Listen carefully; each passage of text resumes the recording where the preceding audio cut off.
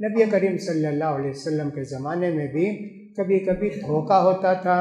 अल्लाह के रसूल सल्लल्लाहु अलैहि वसल्लम के ज़माने में ऐसा होता था कि ऊँटनी या बकरी कुछ भी ला के मार्केट में बेचते, दूध निकालें तो बहुत दूध निकलता।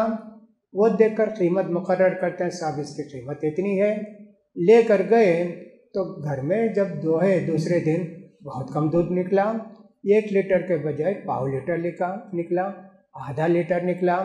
होता ऐसा है कि जो जानवर बेचने के लिए लाते हैं ना, गाय हो, बकरी हो, उसके थन में दूध छोड़ देते।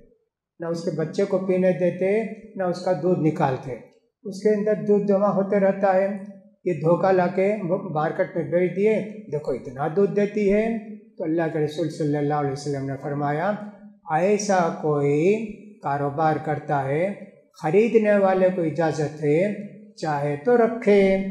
तीन दिन के अंदर, तीन दिन के अंदर चाहे तो रखे, चाहे तो वापस कर दे। अब ये जो दूध पिया है ना, उसके बदले खजूर उसको वापस करे।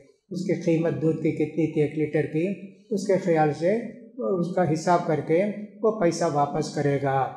ऐसे हुआ लेकिन तीन दिन के बाद भी अगर वो रोक के रखा, फिर उसके बाद उसको इजाज़त नहीं है।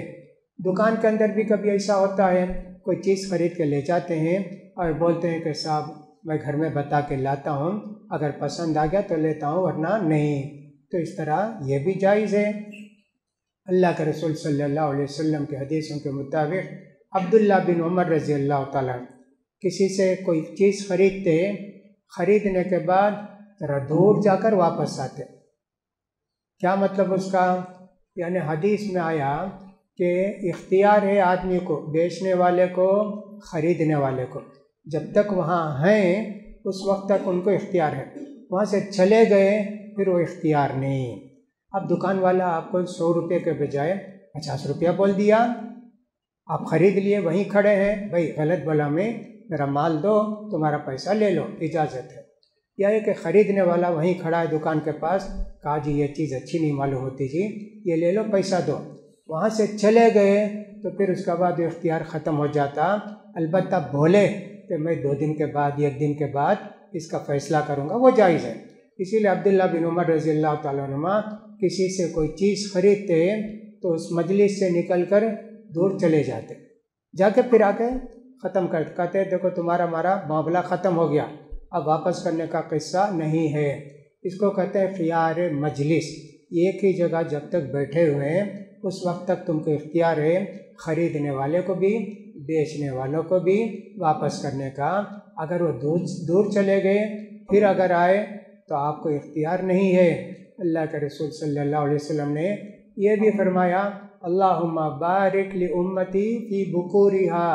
अल्लाह, मेरी उम्मत में जो लोग कारोबार करते हैं, उनके कारोबार में बरकत दे जो सवेरे सवेरे कारोबार करते हैं। एक सहाबी थे, उनका नाम था फ़ख्र फ़ख्र एक सहाबी थे। वो कभी अपने वो तजारती काफ़िले को भेजते, सवेरे भेजते। जैसे फजर के बाद समझो भेजते। तो अल्लाह के रसूल सल्लल्लाहु अलैहि वसल्लम के ज़माने के साहबी बहुत मालदार हो गए। हर तरह उनकी तजारत कामयाब हुई। अल्लाह के रसूल भी कहीं लश्कर भेजना चाहते, सवेरे भेजते थे। ये सारी बातें आती हैं।